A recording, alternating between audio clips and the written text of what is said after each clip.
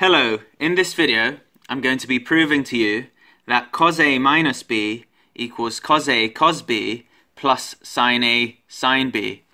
Now I'll be proving this to you using the same diagram I used to prove that sin A minus B equals sin A cos B minus cos A sin B. Now if you'd like to know how I came up with this diagram please visit the link below this video related to this proof. Alright, so I'm now going to begin proving why this is the case.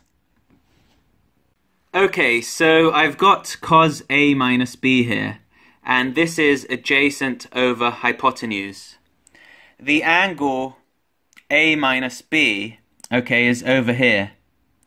And uh, what we've got is this triangle OST, okay? A right-angled triangle. Its adjacent side is OT and its hypotenuse is 1. This means that cos A minus B is going to be equal to OT. Alright? Now what is OT though? Well, OT is this length, okay? OT is actually OR plus RT, okay? Let's write this down. OT is OR plus RT, alright? Now because RT is the same as the length QS, right? This means that OT is equal to OR plus QS. Alright? And this is the equation we are going to be using to prove that this up here is the case. Alright, so we know what OT is. This means that we have to look for OR and QS. Now what is OR? Let's look for OR. OR is this length over here, okay? And it's part of the triangle OPR, okay? Which has an angle A, which is this entire angle over here, B plus A minus B in brackets.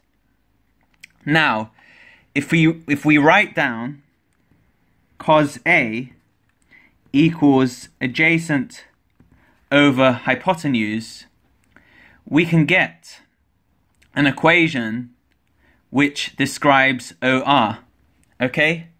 Because the adjacent of this triangle over here with an angle A is OR, okay? And its hypotenuse is in fact cos B. Okay? Now, if we know that cos A equals OR over cos B, this means that OR is cos A, okay, times cos B. And we've discovered what OR is, which means we only have to discover what QS is to prove this up here. Okay? Okay, so to complete our cos A minus B proof, we need to figure out what QS is. So let's focus on QS, okay?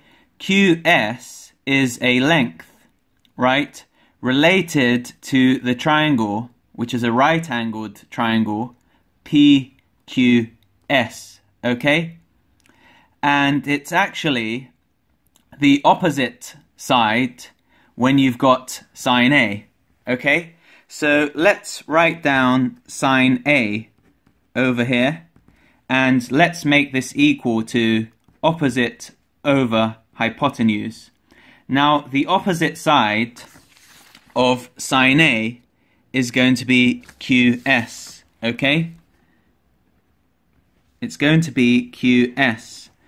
and its hypotenuse is sine B. Okay? This means that sine A is QS over sine B, which also means that QS is sine A times sine B. Okay? So we've discovered what QS is. Now that we've found OT, OR, and QS, we can prove that this is true. Okay? Now OT is cos A minus B. Okay? And this is going to be equal to OR, which is cos A times cos B, okay, plus QS. And QS is sine A times sine B.